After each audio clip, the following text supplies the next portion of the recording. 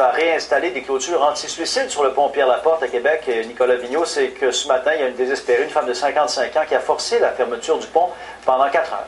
Un début de journée euh, tout à fait euh, rocambolesque, extrêmement difficile pour des milliers d'automobilistes de Québec. D'abord, le pont de Pont-Pierre-Laporte était complètement fermé dans les deux directions. Résultat de la circulation un peu partout en périphérie, tant sur la rive nord que sur la rive sud. Des voitures à perte de vue, que ce soit sur la rive nord ou sur la rive sud. Le scénario a duré plus de trois heures. Le pont Pierre-Laporte est complètement fermé dans les deux directions entre 4 heures et 8 heures. Des camionneurs ont dû prendre leur mal en patience et les routes périphériques étaient débordées.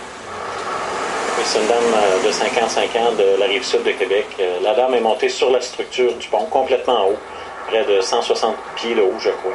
Euh, c'est ce qui a compliqué la tâche de nos policiers pour aller récupérer cette dame-là, lui sauver la vie, bien sûr. À bout de patience, certains automobilistes ont même décidé de circuler en sens inverse sur l'autoroute.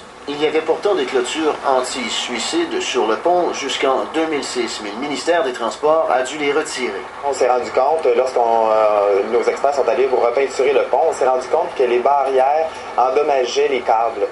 Donc les barrières euh, pour empêcher, les barrières anti-suicide ont été enlevées mais pourtant, des mesures élémentaires de sécurité existent tout juste à côté, sur le pont de Québec.